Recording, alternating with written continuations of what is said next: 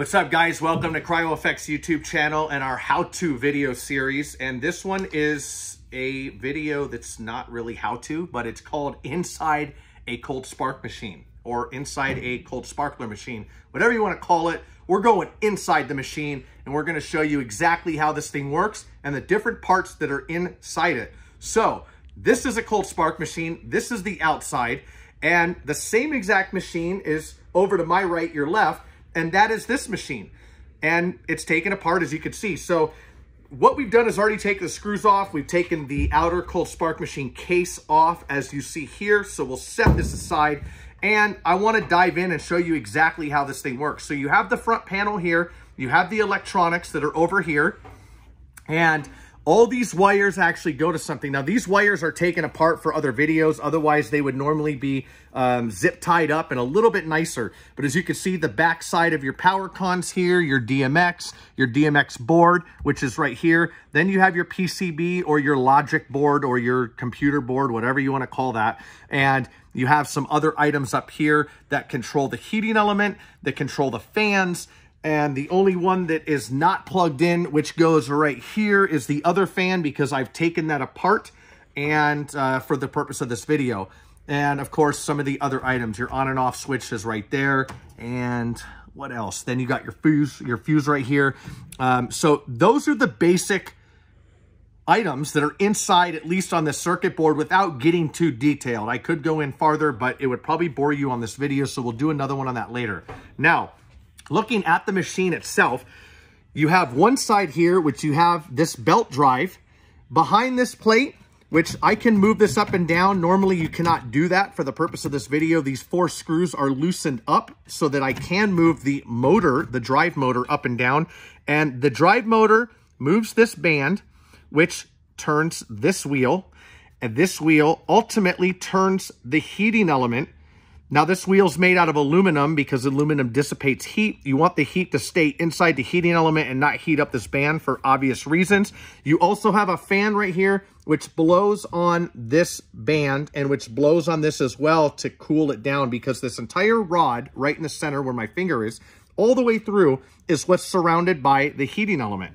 And what you see here is just the one side of this. If you kind of come around to the other side here, we'll be able to take a look at the features and the internal parts from the top down. So let's go. This is where you put the granules, which is similar to this over here. So you dump the granules in here. As you can see, this slopes down. There is a corkscrew underneath that's right here. You cannot see it. That's driven by this motor.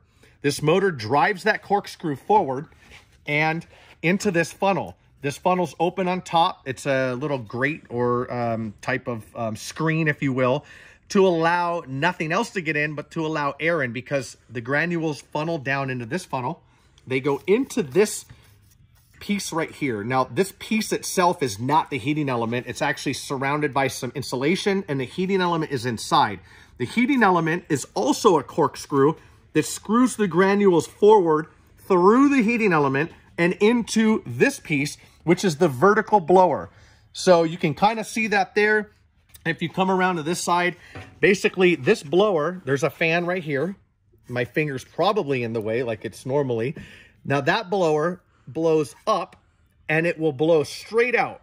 Now what ends up happening is the heating element here pushes these granules into this vertical pipe when they're red hot and glowing and it pushes them upwards by the blower and then they literally come right out of the machine and that's what you see.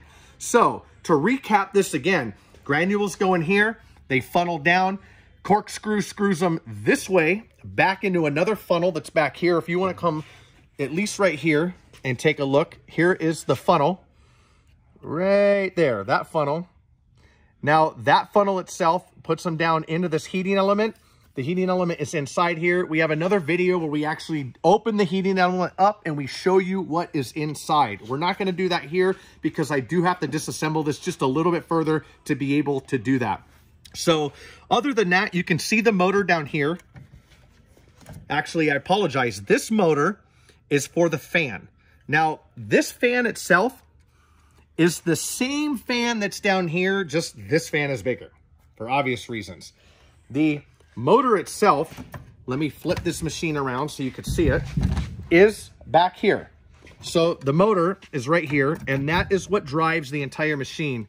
Here's from the back, kind of playing a little bit of merry-go-round with this thing. but again, here's your funnel, drops the granules into the machine. The machine has a corkscrew inside that screws them over to this direction, and then the blower blows them up here. Now, let me flip this back around to show you something that is important.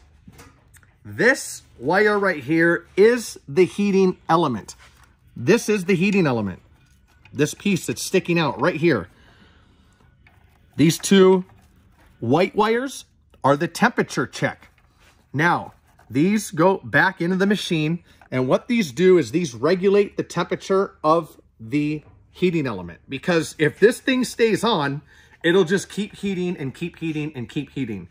And you don't want it to do that because if it keeps heating, it's going to melt something. It's going to start a fire. It's going to burn down. And that's why the logic board and everything with the controls is already pre-programmed into the machine. Unfortunately, you can't change that. Some of us would, but don't try this at home. so anyways, that's how a cold spark machine works in general and inside a cold spark machine. A lot of people want to know how it looks inside and how it functions. Well, that's it. Now, there's other videos. We'll go ahead and put some links in the description on how to change the heating element in a cold spark machine, how to properly clean, excuse me, how to properly clean a cold spark machine like I just need to clean my throat. so anyways, that's it.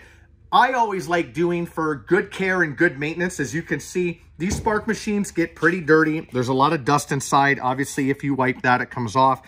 This is the fan that is disconnected. Um, typically, while we're on this video, if I were to put this back on, this wire should never go over the top of this heating element. This wire should go underneath the machine as such and come out just like all these other wires. You want to keep everything away from the top of this machine clear because this gets very hot and you will get burned. Just as a safety disclaimer, when you're inside these machines, of course, always unplug the machine before you open it. It sounds rudimentary, but trust me, the most common things are overlooked. Just like when you talk about operating a gun, make sure it's unloaded. Well, make sure that this is unplugged. Having this thing plugged in is a recipe for disaster because your finger touches a certain area of this and you will get electrocuted. You do have transformers in here. You do have things that will electrocute you. Not to mention, wait for this to cool down. If you already have this plugged in, you already have this working, don't dive right into it and start messing with it because this thing will be hot. It may not look like it, but if you touch this, you will get burned. Obviously, this one's not hot because I'm touching it. So just make sure that, again, safety disclaimer and safety disclosure here. Other than that, this is inside a Spark machine. Regardless of how they look on the inside, they all function the same. This particular model is an iSparkFX or a Pro Gear. Um, I believe it's a uh, one of those Pro Effects or Pro X. I don't know. Anyways, regardless, they're all the same inside. They may look a little different. They all have those same general components. Some of them, instead of being belt driven with the belt here, they may be chain driven. Regardless of what it is, they all function the same. This is CryoFX. Check our other videos out down below on how to clean a cold spark machine and everything else. Again, this video is inside a cold spark machine because we just took you inside. Check our other videos out. I'm Chris. And until next time, check our other videos out and check our other videos out. See ya.